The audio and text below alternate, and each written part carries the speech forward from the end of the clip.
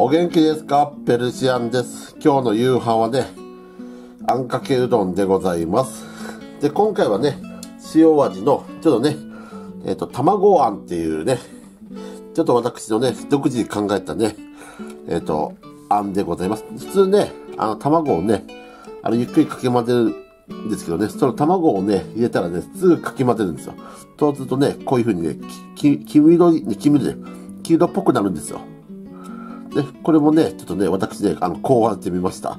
でね、普通とろみあるんですけど、透明なところをね、えっ、と、黄色く仕上げたね、あの、うどんでございます。今日はね、ちょっと特にね、食欲があまりございませんのでね、まあ、野菜もね、えっ、と、チンゲン、えー小松菜と玉ねぎとね、えっ、と、長ネギだけでな、シンプルな、あんかけうどんでございます。で、お酒はね、ブラックリッカのスプライト割りでね、行きたいと思っております。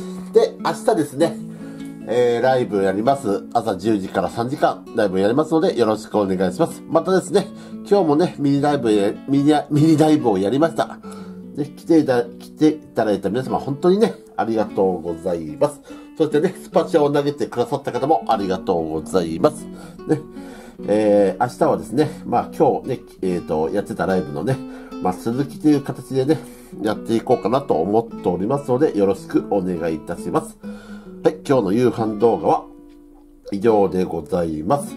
本日もご視聴ありがとうございました。チャンネル登録、Twitter、ツイキャス、サブチャンもよろしくお願いします。それでは失礼します。ペルシアンでした。どうもありがとうございました。良い一日をお迎えください。それでは。